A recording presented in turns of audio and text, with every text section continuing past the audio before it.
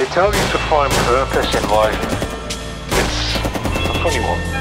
I do believe you're destined for great things.